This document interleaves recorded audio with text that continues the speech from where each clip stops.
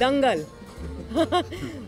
I don't think any spot has been shot the way you know wrestling was shot in Dangal I think it was incredible performances background score music art direction सब कुछ तो अच्छा था. Writing direction सब कुछ अच्छा था. Production सबसे अच्छा था.